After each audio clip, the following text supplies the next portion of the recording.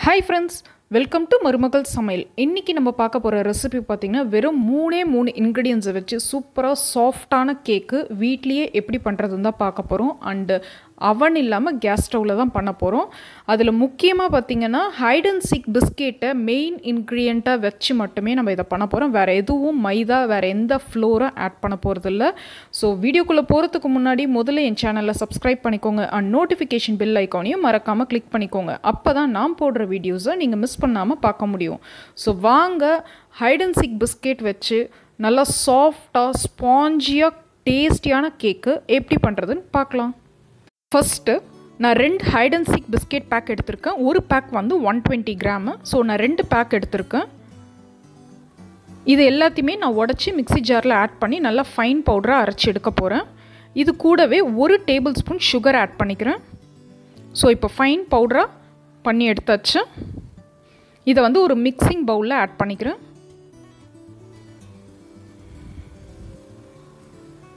இது கூடவே பார்த்திங்கன்னா நான் ஒரு கப்பு பால் எடுத்துக்கிறேன். அதாவது டூ ஹண்ட்ரட் எம்எல் பால்.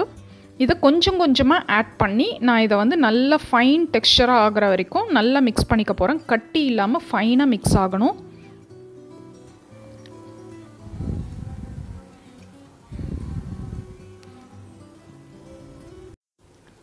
இது கூடவே ஒரு half teaspoon baking soda add பண்ணிக்கிறேன்.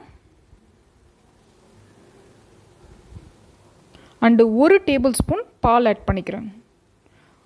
ஸோ இதையும் நான் ஃபைனாக மிக்ஸ் பண்ணிக்கிறேன். இது வந்து ரிவர்ஸில் மிக்ஸ் பண்ணக்கூடாது. ஒரு பக்கமாகவே நம்ம இதை மிக்ஸ் பண்ணிக்கணும்.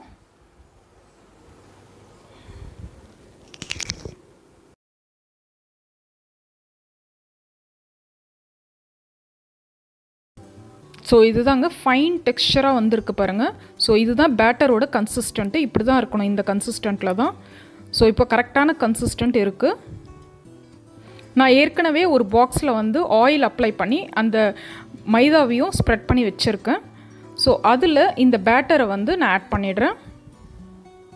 உங்கள்கிட்ட பட்டர் பேப்பர் இருந்தால் கூட நீங்கள் அதை யூஸ் பண்ணிக்கலாம். இதை வந்து லைட்டாக டேப் பண்ணி விடணும். அப்போ தான் ஏர் பிளாக் ஏதாவது இருந்தால் ரிமூவ் ஆகும். ஸோ நான் ஏற்கனவே ஒரு பேன் வந்து ப்ரீ ஹீட் பண்ணி வச்சுருக்கேன். அதை வந்து ஒரு ஃபைவ் மினிட்ஸ் லோ ஃப்ளேமில் வச்சு ப்ரீ ஹீட் பண்ணேன். இப்போ அதில் இந்த பே கேக் பேட்டரை நான் ப்ளேஸ் பண்ணிடுறேன்.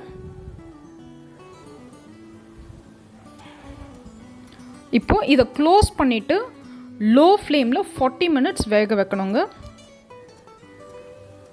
ஃபார்ட்டி மினிட்ஸ் கழித்து பார்க்கலாம். ஸோ இப்போ ஃபார்ட்டி மினிட்ஸ் ஆகிடுச்சு ஃபஸ்ட்டு டூத் பிக் வச்சு நான் செக் பண்ணி பார்க்குறேன்.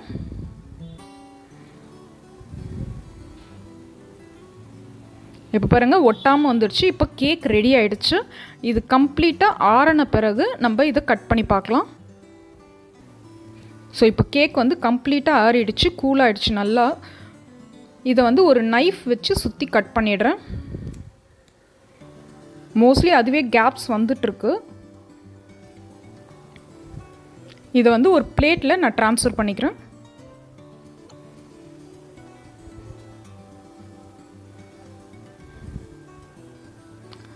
வாவ் சூப்பரான கேக் வந்து ரெடி ஆயிடுச்சு.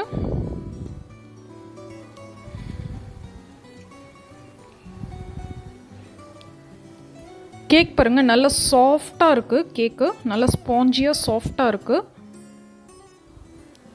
ஸோ இதுக்கு மேலே வந்து நான் சாக்லேட் சிரப் ஆட் பண்ணுறேன் இது வந்து ஆப்ஷனல் தான். உங்களுக்கு விருப்பம் இருந்தால் ஆட் பண்ணிக்கோங்க.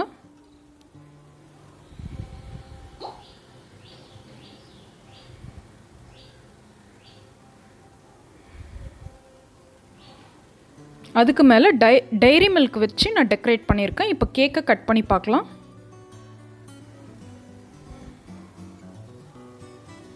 நல்லா சாஃப்டாக கட் ஆகுது பாருங்கள் நல்லா சாஃப்டாக ஸ்பாஞ்சியாக இருக்குது கேக் பார்க்கவே ரொம்ப அழகாக இருக்குது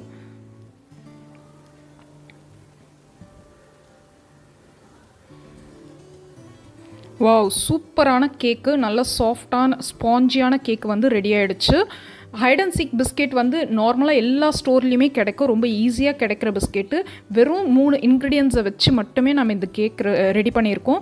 ஸோ இந்த ரெசிப்பியை கண்டிப்பாக நீங்களும் வீட்டில் ட்ரை பண்ணி பாருங்கள் குட்டீஸ்லேருந்து பெரியவங்க வரைக்கும் எல்லாருமே விரும்பி சாப்பிடுவாங்க. அவ்வளோ டேஸ்டியாக இருக்கும். அண்டு ரொம்ப சிம்பிளாக ஈஸியாக செய்கிற கேக்கு உங்களுக்கு பிடிச்சிருந்தா வீடியோவை லைக் பண்ணுங்கள் உங்கள் ஃப்ரெண்ட்ஸ்க்கும் ஷேர் பண்ணுங்கள் அண்ட் என் சேனலை சப்ஸ்கிரைப் பண்ணி எனக்கு சப்போர்ட் பண்ணுங்கள் தேங்க்யூ